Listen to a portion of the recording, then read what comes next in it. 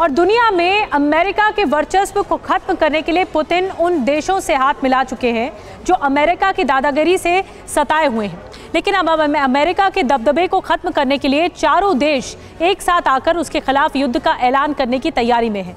और सबसे खास बात यह है कि चारों देशों ने इसका रिहर्सल भी शुरू कर दिया है।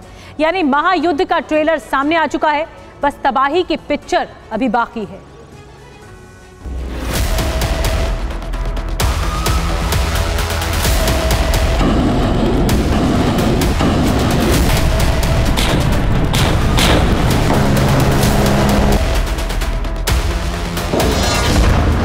अमेरिका। चार देशों ने चक्रव्यूह बनाया।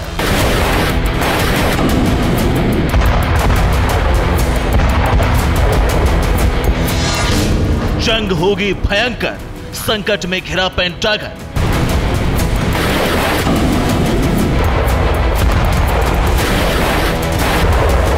और कैसे घिर गया है? इसकी तस्दीक इन तस्वीरों से होती है। हारमूज की खाड़ी में ईरान ने दिखाया दम। अमेरिकी वॉरशिप को ईरान ने खदेड़ दिया। और यह तब हुआ जब अमेरिकी वॉरशिप पर करीब चार हज़ार सैनिक थे। फाइटर जेट कॉम्बैट हेलीकॉप्टर और मिसाइल से लैस था। लेकिन ईरान के ड्रोन और स्पीड बोट ने अमेरिकी यूएसएस कार्टर शिप को वहाँ से पीछे हटने पर मजबूर कर दिया। Disney warship, this is Sahana Navy on channel 16, over. इस बीच नॉर्थ कोरिया से आई तस्वीरों ने अमेरिका की नींद उड़ा दी है। किम का ऐलान समंदर में अमेरिका से घमासान। जंग का रिहर्सल, शिप से क्रूज मिसाइल टेस्ट सफ़र।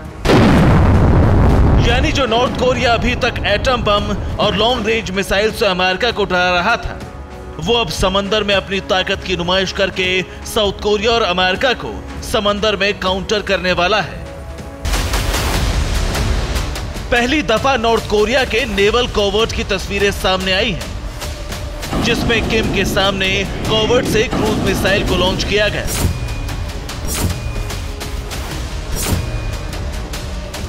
दूसरी तरफ़ चीन ने ताइवान स्ट्रेट में वॉर एक्सरसाइज करके फिर से अमेरिका को चैलेंज कर दिया है। ताइवान पर कब्जे का प्लान, ड्रैगन का खुला ऐलान, आक्रमण का रिहर्सल, समंदर में उठा बारूदी पवंटर चीन ठीक उसी तरह का युद्ध अभ्यास कर रहा है, जैसे कि वो ताइवान पर आक्रमण करने जा रहा हो। खास बात ये कि युद्ध अभ्यास जिस जगह हो रहा है, वहाँ से कुछ दूरी पर अमेरिका का वॉरशिप तैनात है।